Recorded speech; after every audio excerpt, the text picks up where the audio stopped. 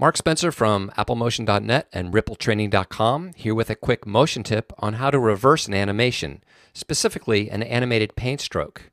Now to create a stroke like this, I'll turn this existing one off. You can just take the Bezier Shape tool, draw a quick path to your liking of anything you'd like, hit return, go back to your regular tool, Shift S, we'll give it an outline with no fill, and then from the Shape Style pop-up menu, we'll go to Light and choose the first light streak, light streak 01. And bang, you've got an animated light streak.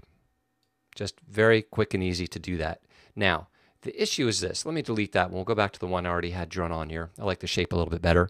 What if you wanted this light streak to animate on in the opposite direction? This came up recently on the forums, and I thought it was a very interesting question. How can you reverse the animation? Well, Motion has the capability to reverse keyframes. But the thing you need to do is find the keyframes. By default, if you go to the keyframe editor, which is Command 8, you will see all the animated parameters for the selected layer. So we should be seeing some keyframes here, but we're not. With this specific type of animation on this light stroke, on this preset, it's a little bit tricky to get to the keyframes, and that's why I wanted to show you how to do this.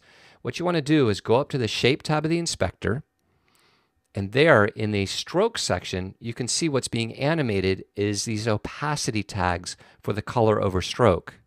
To reveal those keyframes, you click on the animation menu right here and choose Show in Keyframe Editor. Now we can see all of the keyframes for this animated light stroke.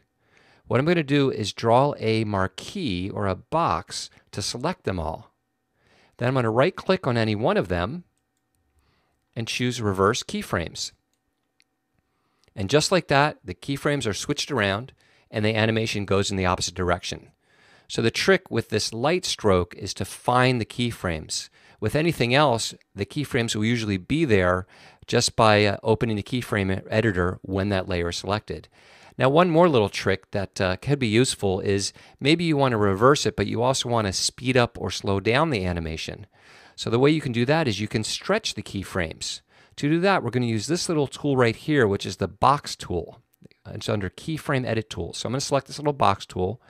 I'm going to draw a box that selects all my keyframes. And then I'll just drag out on one edge of the box. I'll extend my play range as well. And now my whole animation is exactly the same, but just takes longer to complete. So that's two quick tips on how to deal with reversing and stretching or compressing your keyframes in motion. Again, I'm Mark Spencer from AppleMotion.net and RippleTraining.com. Thanks for watching.